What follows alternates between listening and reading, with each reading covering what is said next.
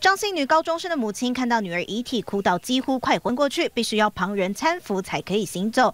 民国八十八年六月，当时就读高二的张姓女学生，因为要做军训作业，便请哥哥载她到西门町附近的国史馆搜集资料。哥哥还跟她约好五十分钟后来载她回家。殊不知这一别，兄妹俩再也无法相见。当天值日的一兵郭庆和看见女学生只身可期，于是假借登记资料为理由，诱骗女学生到馆长室。女学生的哥哥在门口苦等不到妹妹，犯案的郭庆和这时主动走向哥哥，跟他说：“军史馆内已经没。”有人，这句话成为最后破案关键。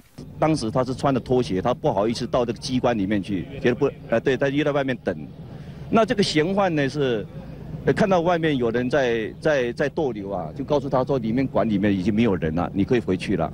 所以我们基于他告诉他的话的理由啊，所以我们觉得很有嫌很有嫌疑。行凶后，郭庆和先将尸体装进大垃圾袋后，还先去过端午节，回来后才跟友人把尸体弃置在板桥五泉公园，五天后才被人发现。一开始，郭庆和还矢口否认犯行，直到警察看到他胸前的抓痕，才让他俯首认罪。检察官随后到殡仪馆相验尸体，并且当场召开临时侦查庭侦讯嫌犯。郭庆和最后被判死刑，并在同年枪决，但女学生的年轻生命再也回不来。东森新闻综合报道。